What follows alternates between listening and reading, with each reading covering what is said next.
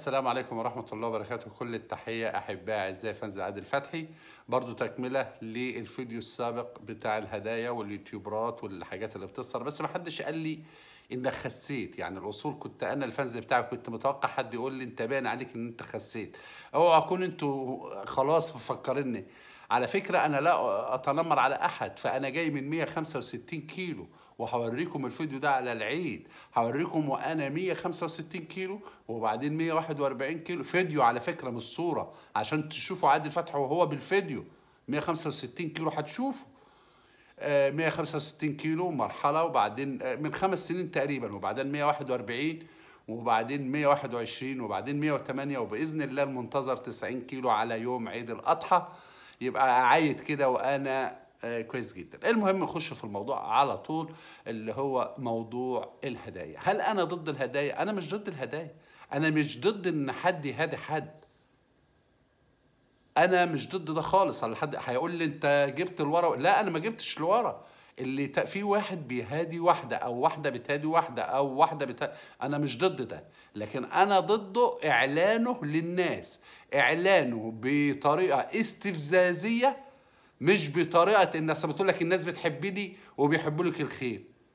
ما هو الناس بيحبوك ويحبوك الخير بس في واحدة نفسها في ملاية سرير في واحدة نفسها في طقم سرير في واحدة نفسها في البروش اللي جاي لك في واحدة نفسها في الملابس الداخلية اللي جات لك. وعلى فكرة الملابس الداخلية لما واحد قال لك انت برضو كنت مزود العيار شوية لا هو ده التوصيف الصحيح له اللي هو لام ب ألف سين هو ده اللغة العربية الفصحى. كان زمان ما أنا عايز أقول لهم ما تنسوش ما أنتوا لما جالكم الحاجات المستوردة اللي هي ب 1000 جنيه وب 1500 جنيه هدايا ومحطوطة في الكراتين وجيتوا تلبسوها ما عرفتوش تلبسوها فرتكتوها. انكم مش واخدين فرتكتوها لأن انت كان لها طريقة معينة بتتلبس انت رحت داخلة. في ناس منهم من اليوتيوبرات بسم الله ما شاء الله أوزانهم بسم الله عايزة إيه؟ ده عايزة 40000 إكس لارج. فتفرتك. جابته 70 حتة. يعني خلته زي الخرقة كده. فأنا بفكرها بس بابو كورنيش اللي هو العبك اللونيه. اللي كان بيتلبس زمان لما واحدة جارتها تقول لها تعالي يا فلانة خيطي لي كذا تروح جايبة مترين قماش ولا لها اعملي لي الحاجة ده علشان يتظبط عليها. كانت بتعمله مترين. فاللي جاي لها حاجة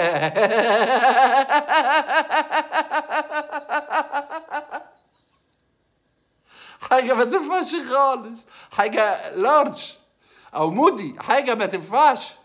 وإحنا بتوع المودي يا عمي. أدي حاجة. وأنا قلت اللي طالعة تقول دي بتسيء لنفسها وبتسيء للشحط. الشحط اللي جنبها. الشحط. شحط. انت إزاي تقبل هذا الكلام؟ إزاي تقبل هذا الكلام؟ مش عارف أنا إزاي. تقبله على نفسك إزاي؟ خلاص الودان ترتر مش ودان بقى ده في قرون بقى. وفاضل اللي هنهزها. فاضل إيه؟ فاضل إيه؟ طالعة كده قدام جوزك ولا حاجة ولا وطالعة واللون ده أحمر واللون ده أخضر واللون ده أزرق. طب وأنت جاب لك الأحمر ليه؟ واحدة في سنك يتجاب لك حاجة حمراء ليه؟ أو أدي حاجة. سيبونا هنقوله ده حاجة وجاية ومش عارف أنت مالك يا عم وأنت غيران. أنا لا غيران ولا داخل اليوت.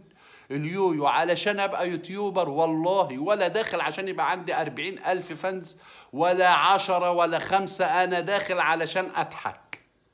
عشان أعرفكم أنا داخل آه إنسان بتوتي يعني بقعد في البيت كتير ف والظروف اللي إحنا فيها فداخل اضحك. معايا 2000 فانز 1500 فانز بيجيني كل إصدار 500 مشاهدة 400 مشاهدة 300 مشاهدة 100 مشاهدة.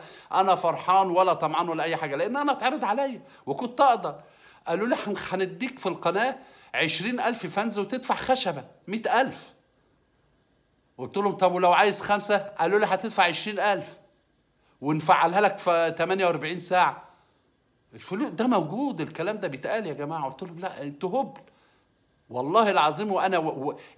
الفلوس دي بالنسبة لي أنا أنا بخسرها ممكن في اليوم وبكسبها برضو أيضا ممكن في اليوم.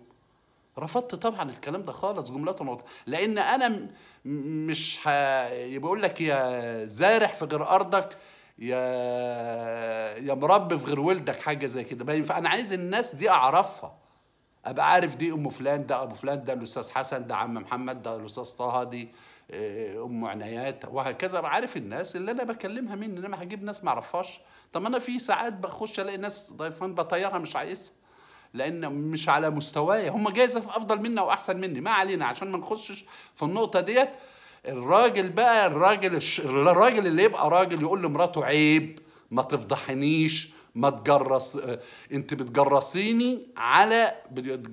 ما أعرفش يقولها. على العام. انت كده بتضيعي رجولتي بتلغيني. ومش كل شوية تصغري لي كده.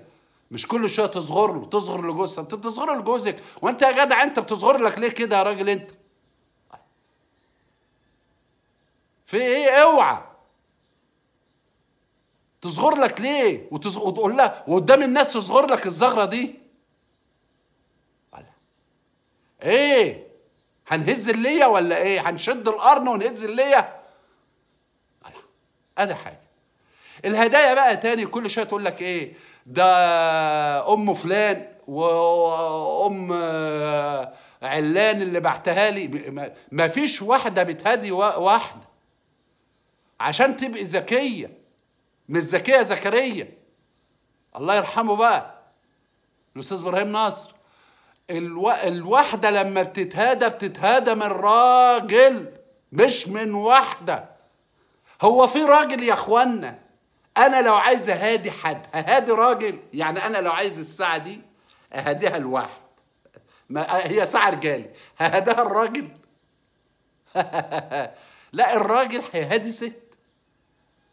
والست تهادي راجل. إنما المحبة كده ما شفناش الكلام ده علشان إيه؟ سواد عيونك. على اما لما أنتوا تتهادوا كده المشاهير بقى من الممثلات والفنانين بيتهادوا بإيه؟ وبعدين طلعنا بقى في أسطوانة جديدة وأسطوانة مشروخة. ما حدش قال لك إن الشقة دي قانون جديد ولا تمليك ولا غير تمليك ولا أنت بتر... اولا ال- اللي ياخد شقة إيجار أو قانون جديد ما يقدرش يركب فيها تكييف. لازم تبقى ملك. هتقول لي لا ده أنا مستثنية والراجل وصاحب البيت ومش عارف إيه والكلام من ده.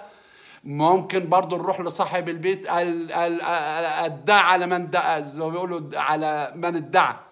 ليه الكلام ده؟ واللي تقول لك أصل والله أنتوا باصين الشقة ديت مش من فلوس ال- اليويو. أمال فلوس مين؟ ده أنتوا بعمل لكم قضية سارقين أربع كيزان ذرة. يعني في قضية ما- ولا حاجة زي كده. كنتوا بقى رحتوا آه، غيط ولا آه، نزلتوا ش... رحتوا سرقتوا خمس ست كيزان ذرة جبتوا الشقة منين؟ وطول ما أنتوا قاعدين بتقولوا إحنا غلابة ومش لاقيين ومش قادرين ندفع الإيجار ومش قادرين ندفع الكهرباء ومش عارف إيه يعني خلاص. فالرحمة بعقولنا. جبت شقة محدش قال لك لا تقول لي اشتريت. ولا ما اشتريتش ولا أي حاجة. قول لي والله أنا خدت شقة وبتاع وكده وادعوا لي ودعواتكم. محدش يدعو بحد محدش هيسألك. اللي هيسألك ما تردش ما انت ما بتردوش على حد. أدي حاجة. آه، في أحيانا حاجة بتبقى اسمها آه، غسيل أموال. يعني إيه غسيل أموال؟ بتيجي فلوس. فلوس كتير. ما هي بتيجي فلوس. ماشي عن طريق مثلا البنك العربي عن طريق عن طريق دعم القنوات لأن إحنا عرفنا النهارده إن الألف فانز تقريبا تسعيرته من 1000 ل 2000 جنيه. وعرفنا إن أنت علشان تعمل الشروط ويجيب لك 4000 ساعة تدفع من 8 ل 10 حسب اليوتيوبر. ما خلاص دي بقت تسعيرة.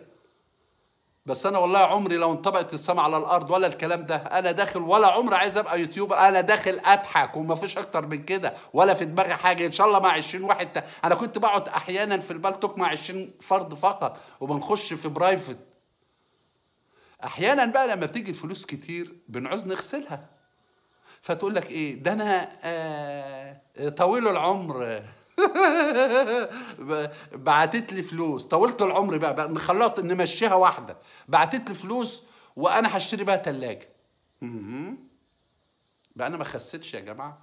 ده طولت العمر ربنا يدعي لها الشيخة فلانة أم فلان بعتت لي فلوس أشتري تكييف. ما تقولي أنت معاكي فلوس.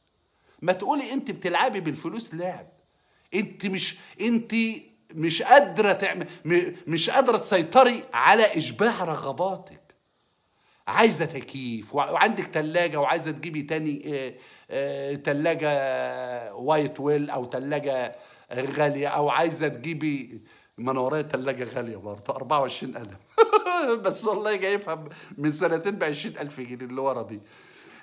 طيب ما أنا ما أنا اقولوا معايا. آه، بتيجي تروح آه، فرشة جايبة أنتريه جايبة مش عارف أدوات مطبخ ما تقولي إن أنت معاكي فلوس جايلك فلوس محدش لا ما تقوليش. قول أنا جبت تكييف. الله. ما, ما تجيبيش التصوير على ما أنا عندي في البيت والله ثلاث تكييفات. هنا ثلاث تكييفات. ما جبتش يعني صورة تكييف يعني. ما تجيب ما تصوريش مش لازم بقى يقول لك إيه أصل الشيخة فلانة أم فلان بعتت لي علشان إيه أنا وجوزي آه أثناء العلاقة الحميمية. علاقة حميمية إيه؟ تبقى معمولة في جو لطيف الجو ربيع والجو بديع وأنا هخرف بين عليا والسلام عليكم ورحمة الله وبركاته. آخر إنذار أي واحدة هتطلع تظهر الحاجات اللي بتجيلها هتلاقوني طالع لها على طول وبجيب بقى الصور. الصور والكلام بقى واللي عايز يخش العادل فتحي يخش بس يكمل. شكرا.